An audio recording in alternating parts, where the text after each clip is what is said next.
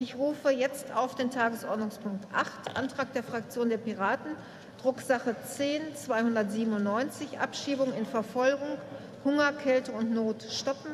NRW muss die Abschiebung von Flüchtlingen in den Westbalkan über den Winter aussetzen. Ich eröffne die Aussprache zu diesem Antrag und Frau Kollegin Brandt von den Piraten hat jetzt das Wort.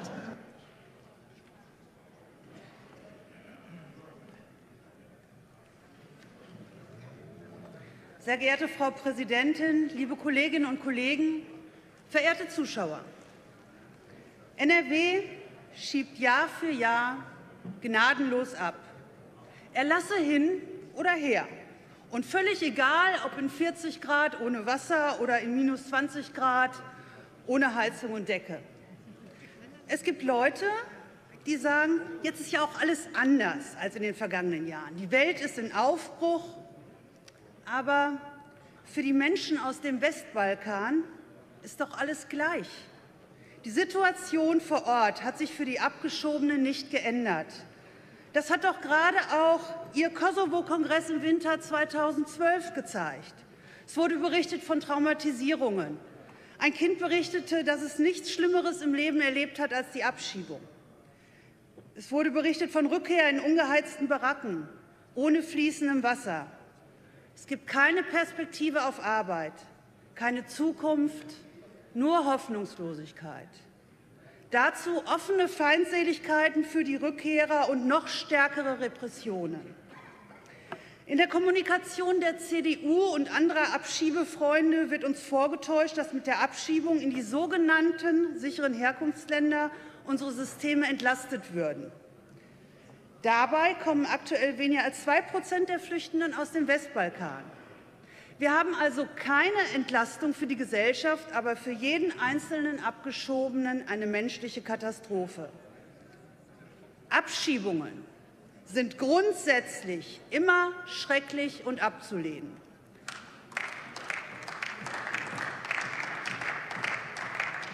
Noch unmenschlicher und grausam wird es aber, wenn in die Kälte des Winters abgeschoben wird. Meine Damen und Herren, wo soll denn die Reise hingehen?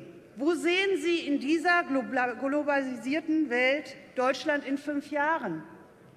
Eine Welt, in der jeder mit jedem kommunizieren und handeln treiben darf, nur sich frei bewegen und arbeiten darf man nicht? So wie es doch seit vielen Jahrhunderten während der Völkerwanderung geschehen ist.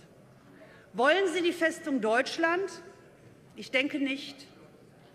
Fassen Sie sich ein Herz und vergessen Sie auch in diesen Zeiten der wahrlich großen Herausforderungen nicht die Menschen, die nichts für die dramatische Situation im Rest der Welt können. Wir haben aktuell erfahren, dass es wohl morgen am muslimischen Feiertag vom Düsseldorfer Flughafen aus Abschiebung von Menschen in den Westbalkan, in den Kosovo geben soll. Und mit diesem Ausblick wünsche ich Ihnen besinnliche und frohe Feiertage in Ihren sicherlich warmen Wohnungen. Vielen Dank. Vielen Dank, Frau Kollegin Brandt. Für die SPD-Fraktion spricht Herr Kollege Körfges.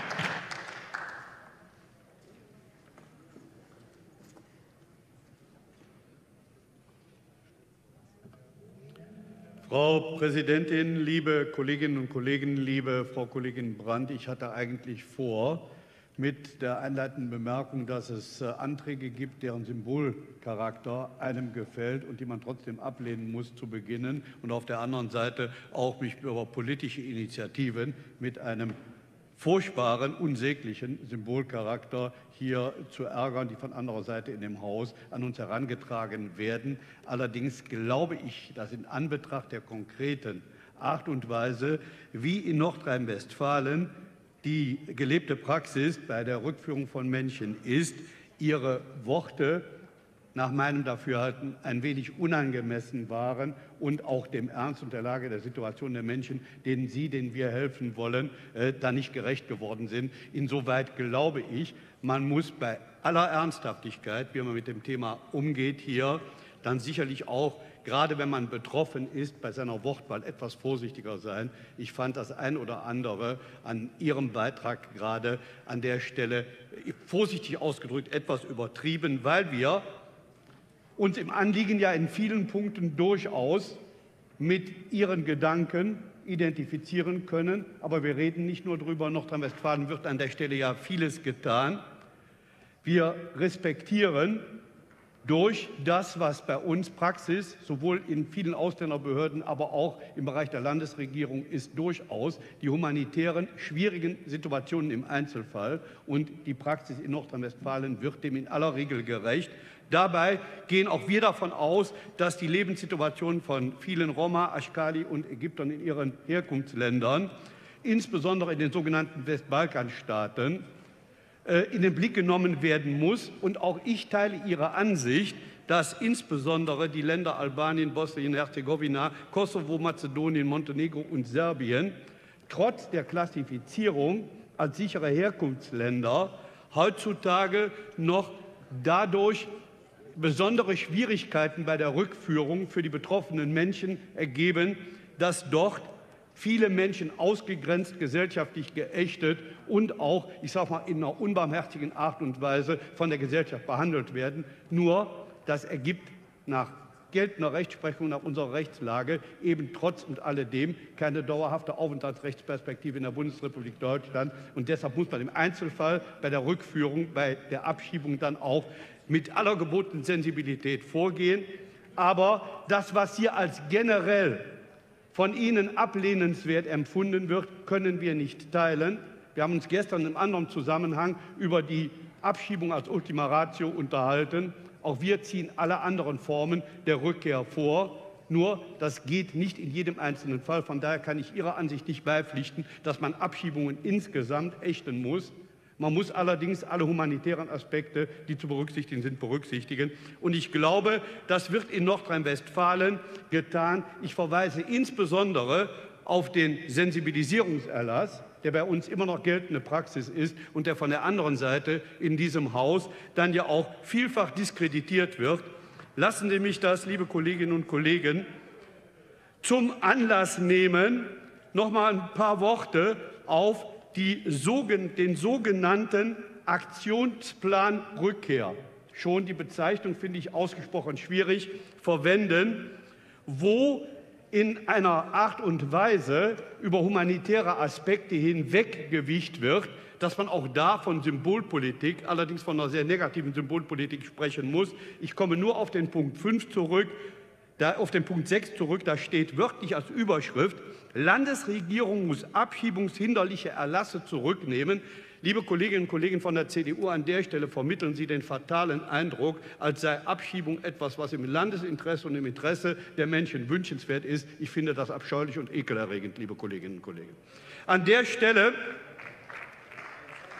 an der Stelle darf ich allerdings zum Abschluss noch darauf hinweisen, dass das Instrument von Winterabschiebe erlassen und Abschiebestopps, was ist, was in keinem einzigen Bundesland mehr, wenn ich richtig informiert bin, derzeit, derzeit angewandt wird. Und selbst der thüringische Ministerpräsident Ramelow hat sich nach meinen Informationen an der Stelle eindeutig geäußert sodass ich durchaus an Ihrer Seite bin, wenn es darum geht, humanitäre Aspekte zu berücksichtigen, und zwar ganzjährig, dass ich auf der anderen Seite schon aus Vernunftsgründen sagen muss, eine generelle Ächtung der Abschiebung als Ultima Ratio ist mit uns nicht zu machen. Insoweit werden wir bei aller Sympathie für die Einbeziehung von humanitären Aspekten Ihrem Ansinnen leider nicht zustimmen können. Ich bedanke mich für Ihre Aufmerksamkeit. Dankeschön, Herr Kaufkes. Als nächster Redner kommt zum Pult Herr Kollege Kupper für die CDU-Fraktion. Herr Präsident, meine Damen und Herren, liebe Kolleginnen und Kollegen, liebe Zuschauerinnen und Zuschauer. Die Maßnahmen im Asylrecht betreffen Menschen mit sehr, sehr unterschiedlichen Biografien und sehr, sehr unterschiedlichen Lebenswegen. Und wir werden mit dem Grundrecht auf Asyl und den Asylgesetzen vielen Menschen helfen können, aber es gehört soweit auch dazu, eben nicht jedem. Und Asyl- und Flüchtlingspolitik heißt auch, unterschiedliche Schicksale unterschiedlich zu behandeln. Und bei uns ist das mit einem rechtsstaatlichen Verfahren, mit mehrfacher Möglichkeit der Überprüfung absolut gewährleistet. Und dann gehört es genauso dazu, dass die negativen Entscheidungen in einem staatlichen und rechtskräftigen Verfahren mit der notwendigen Konsequenz auch umgesetzt werden. In diesem rechtsstaatlichen Verfahren wird in mehreren Stufen immer wieder überprüft, ob ein Schutzrecht vorliegt. Und selbst wenn abgelehnt ist, wird noch die Duldung überprüft und wird noch gefragt, was steckt und steht einer Rückführung entgegen. Und angesichts der derzeitigen aktuellen Flüchtlingszahlen mit einer Dynamik, die zwischen einer Million und 1,3 Millionen Flüchtlinge und Menschen in diesem Jahr zu uns bringt, ist es wichtig, dass diejenigen, die Schutz suchen, eine vernünftige Unterbringung bei uns bekommen. Und dazu gehört es andererseits aber auch, dass Recht und Gesetz umgesetzt werden und bei denen, wo eine Ablehnung erfolgt ist, dann auch zurückgeführt werden in ihre Heimatländer. Und meine Damen und Herren, wenn Sie tagtäglich vor Ort mit den Bürgern, Bürgerinnen, mit den Bürgermeistern, Bürgermeisterinnen und den Hilfsorganisationen im Gespräch sind, dann wissen Sie, dass da tagtäglich in der Praxis gesagt wird, rechtskräftig Abgelehnte nehmen Flüchtlingen in großer Not die wenigen noch verfügbaren Plätze weg. Und das kann nicht sein und das können wir auch nicht so an der Stelle durchgehen lassen. Und alleine, meine Damen und Herren, alleine, Sie hatten ja vorhin gesagt, es seien fast keine mehr, die zu uns kämen. Wir haben, wenn Sie in die BAMF-Statistik hineinschauen, bei bis zu dem Zeitpunkt von Januar bis November erfassten 400.000 Menschen immerhin rund 110.000, die aus den Demokratien des Westbalkan, die aus den sicheren Herkunftsländern zu uns gekommen sind und damit asylrechtlich ohne eine Bleibeperspektive sind, weil über 99 Prozent dieser Anträge abgelehnt werden. Ich denke, angesichts dieser immensen Flüchtlingszahlen und von Kommunen, die an der Belastungsgrenze mehr als angekommen sind, der Innenminister kriegt täglich neue Überlastungsanzeigen auf den Tisch, ist es wichtig, dass auch all diejenigen, die kein Recht auf Asyl oder Flüchtlingsschutz haben, in die Heimat zurückkehren. Und von daher wäre in solch einer Situation der Winterabschiebeerlass ein verheerendes Zeichen. Meine Damen und Herren, die Bundesregierung hat Cooper, ich spreche bitte keine zu Ende. Bitte. Die Bundesregierung hat auch legale Zuwanderungswege für diese Menschen eröffnet, anstelle des aussichtslosen Weges über das Asylrecht. Ich meine, die derzeitige Lage erfordert ein Herz für alle die, welche Schutz und Hilfe brauchen, aber auch klaren Verstand bei denjenigen, die keine Aussicht auf Asyl haben. Dankeschön für Ihre Aufmerksamkeit. Danke Ihnen, Herr Kollege Cooper. Und nun spricht für die Grüne Fraktion Frau Kollegin Dücker.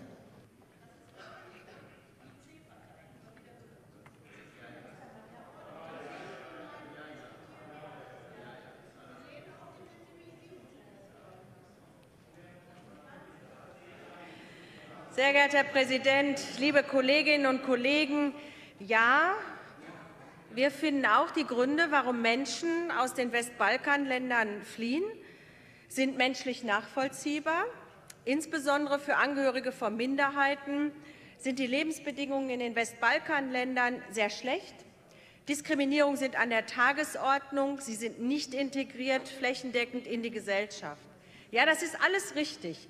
Aber wir können diese Problemlage, die dort herrscht, und das gehört, Frau Kollegin Brandt, auch zur Wahrheit dazu, wir können sie nicht mit unserem Asylrecht lösen.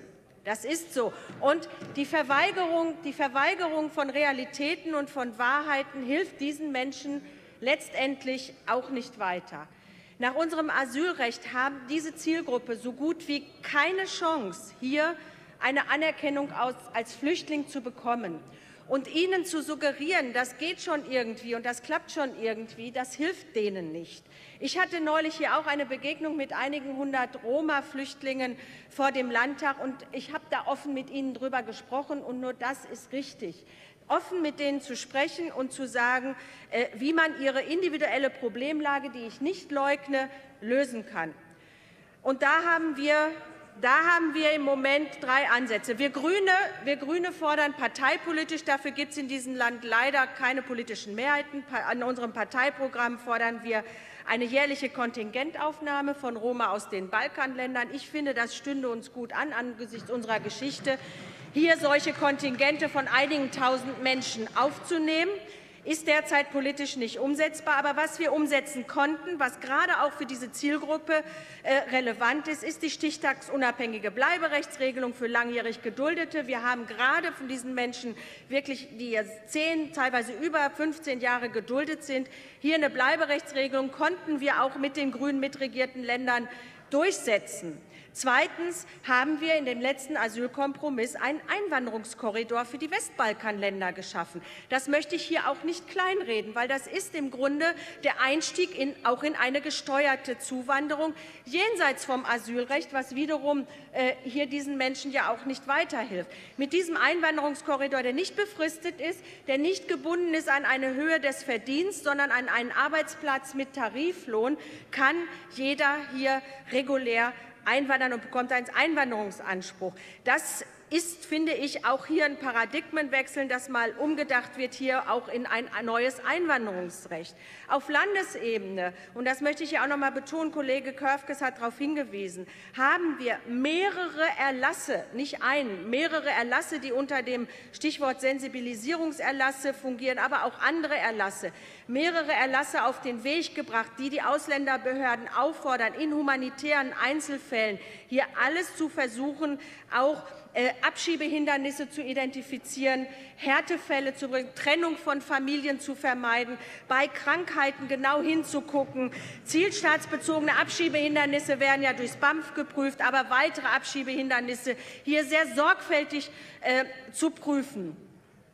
So, und wir haben, und das ist, gehört auch dazu, fair mit diesen Menschen umzugehen, wir haben die Rückkehrberatung ausgebaut. Ja, ich finde es richtig, Flüchtlingen von Anfang an klar ist, dass es keine Perspektive gibt ja, dann auch ganz klar zu sagen, wie bauen wir Brücken zurück in ihre Herkunftsländer, dass sie nicht dort vor dem Nichts stehen, dass sie nicht zwangsweise abgeschoben werden, was eine Wiedereinreisesperre zur Folge hat, dass sie dann auch mal wieder über ein Visum hier einreisen können, äh, was dann ja auch äh, mit einer zwangsweisen Rückführung der Weg verhindert ist. Das heißt, auch das ist humanitär und fair, hier eine Rückkehrberatung zu finanzieren und zu organisieren. Und es ist aus meiner Sicht auch falsch verstandene Humanität, den Menschen hier Dinge vorzumachen, ähm, äh, die am Ende hier in zig Schleifen münden, aber nicht in einem Bleiberecht. Also Dücker, eine ehrliche, eine ehrliche im Moment möchte ich zu Ende führen, ein ehrlicher und fairer Umgang mit diesen Menschen, alle rechtlichen Möglichkeiten für humanitäre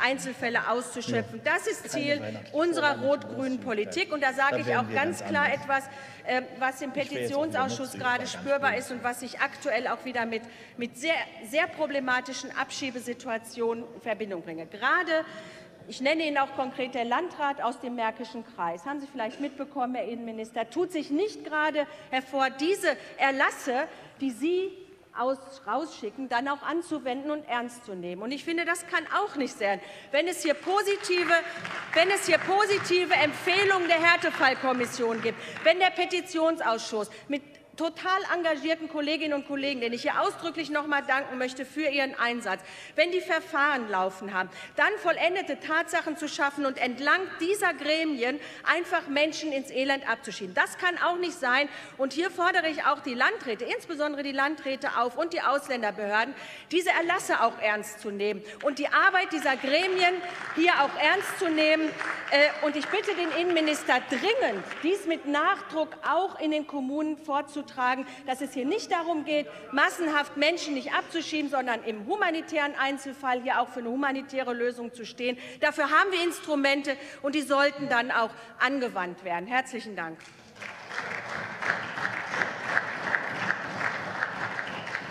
Vielen Dank, Frau Dücker. Und nun spricht für die FDP-Fraktion Herr Dr. Stamp.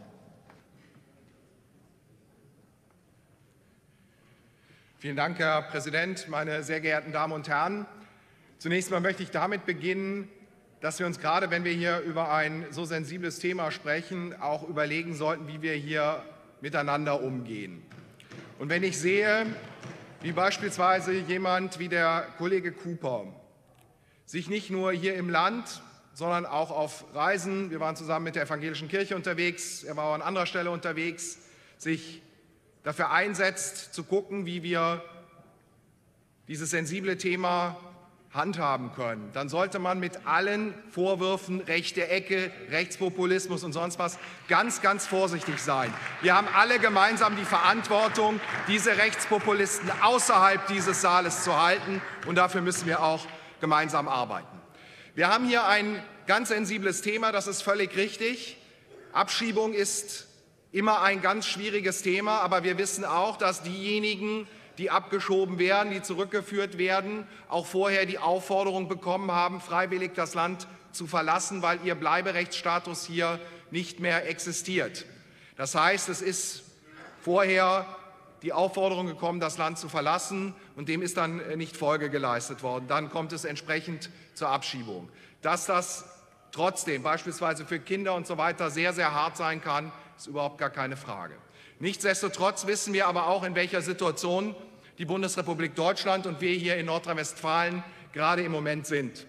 Und ich habe das bereits heute gesagt, dass wir weiter mit sehr, sehr hohen Zugangszahlen konfrontiert sind. Und wenn wir weiter unserer humanitären Verantwortung gerecht werden wollen, wenn wir weiterhin auch Kriegsflüchtlinge aus Syrien vernünftig unterbringen wollen, dann werden wir denjenigen, die nach unserem Asylrecht keine Bleibeperspektive haben, eben hier keine dauerhafte, keinen dauerhaften Aufenthalt ermöglichen können. Das ist hart, aber das ist so und das muss auch konsequent durchgeführt werden. Und dazu hat es ja auch Verabredungen auf Bund- und Länderebene gegeben.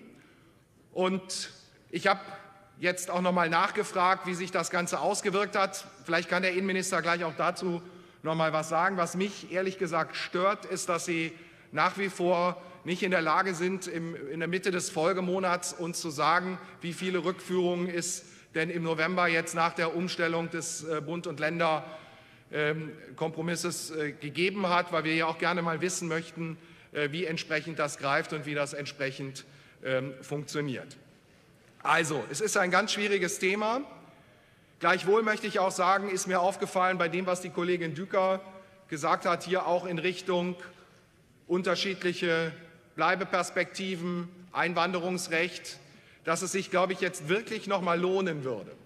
Ich sage das noch mal als Appell, heute Morgen schon mal gesagt, dass wir die Beschlusslagen auch hier nebeneinander legen und einmal gucken, wenn die Bundesregierung nicht in der Lage ist, das Asylsystem mit den hohen Zahlen gerade beim Bundesamt für Migration und Flüchtlinge in den Griff zu bekommen, wenn sie sich dafür den falschen Weg entscheidet, nämlich der jeweiligen wiederum Individualverfahren, anstatt da Gruppen dann auch insgesamt aus den Verfahren herauszunehmen, dann sollten wir hier gemeinsam als Land Nordrhein-Westfalen vorweggehen mit einer gemeinsamen Bundesratsinitiative und sollten versuchen, das auf den Weg zu bringen.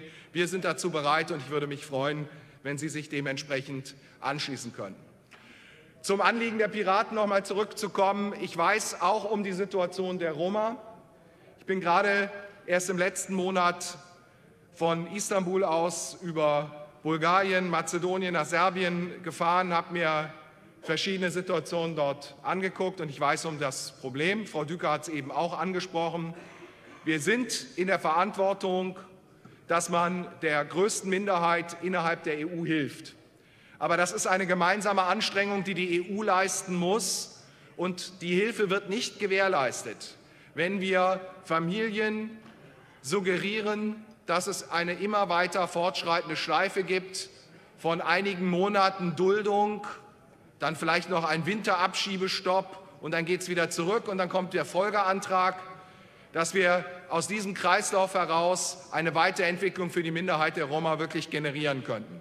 Das wird nicht funktionieren, sondern da muss man dann ehrlich sein, da muss man möglicherweise kontingentieren zu einem anderen Zeitpunkt. Frau Dücker hat das vorhin auch angesprochen. Aber es ist vor allem Aufgabe der EU, sich dieser Aufgabe zu stellen und auch den Ländern auf dem Westbalkan eine klare Ansage zu machen, dass es einen EU-Beitritt nur dann geben kann, wenn auch die Minderheitenrechte in den entsprechenden Ländern gesichert sind. Den Weg sollten wir gemeinsam gehen anstatt hier Dinge zu suggerieren, die wir dann auch letztendlich nicht halten können. Vielen Dank.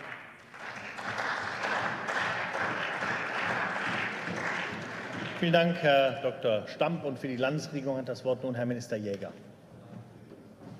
Herzlichen Dank, Herr Präsident, meine sehr verehrten Damen und Herren. Roma werden nach wie vor in vielen ihrer Heimatländer diskriminiert. Das steht außer Frage.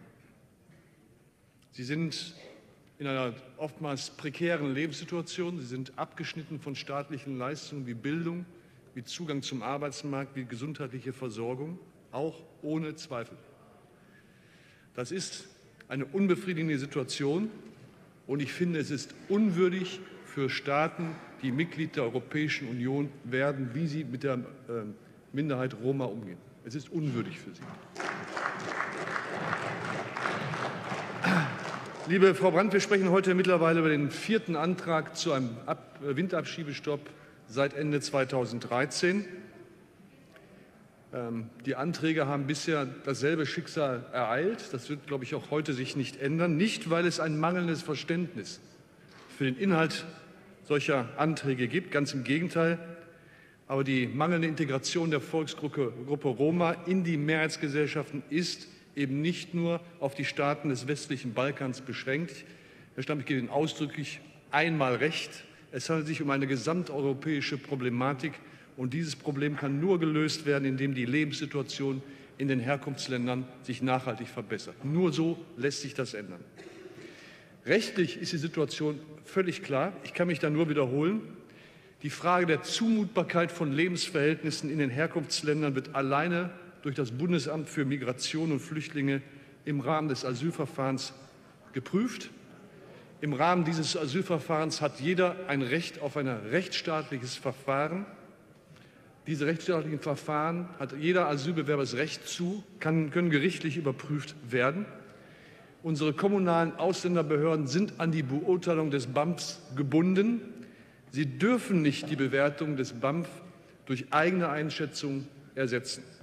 Und die Ausländerbehörden prüfen aber in jedem Einzelfall, ob einer Abschiebung rechtliche oder tatsächliche Hinderungsgründe entgegenstehen.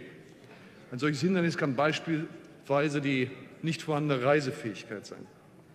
Frau Brandt, wir alle wissen, dass gerade in den Ländern des Westbalkans viele Menschen gezielter Fehlinformationen von Schlepperorganisationen zum Opfer gefallen sind. Sie haben Versprechungen Glauben geschenkt, die völlig irreal waren.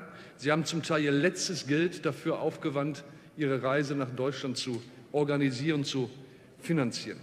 Ich finde, wir sind es diesen Menschen schuldig, die keine Chance auf Bleiberecht in Deutschland haben, sie aufzuklären und die Unsicherheit durch klare und zügige Entscheidungen zu beseitigen. Die wahre Realität im Westbalkan sieht allerdings anders aus. Die Chance für Asylsuchende aus den Staaten des westlichen Balkans auf Anerkennung tendiert gegen Null. Die Informationskampagnen, die wir als Länder, als Bund in den Herkunftsländern zwischenzeitlich geschaltet haben, zeigen Wirkung. Die Flüchtlingszahlen aus den Westbalkanländern sind deutlich rückläufig gegenüber dem Frühsommer.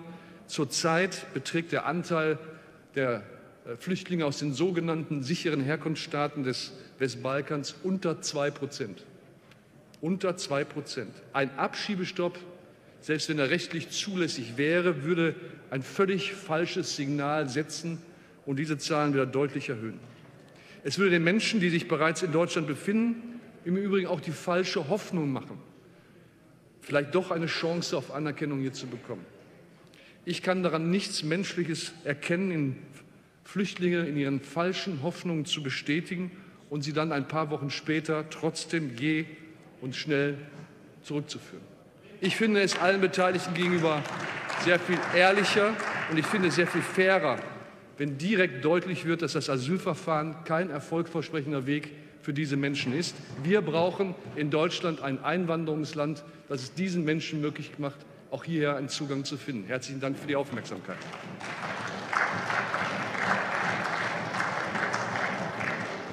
Vielen Dank, Herr Minister Jäger. Es liegen mir keine weiteren Wortmeldungen vor und damit kommen wir zur Abstimmung. Die antragstellende Fraktion der Piraten hat direkte Abstimmung beantragt. Wer stimmt also dem Inhalt des Antrags zu? die Fraktion der Piraten, der fraktionslose Abgeordnete Schwert. Wer stimmt gegen diesen Antrag? Die SPD, die Grünen, die CDU und die FDP. Gibt es Enthaltungen im Hohen Hause? Enthaltungen sind nicht erkennbar. Damit ist der Antrag mit breiter Mehrheit um Hohen Hause abgelehnt. Und ich rufe auf den Tagesordnungspunkt 9.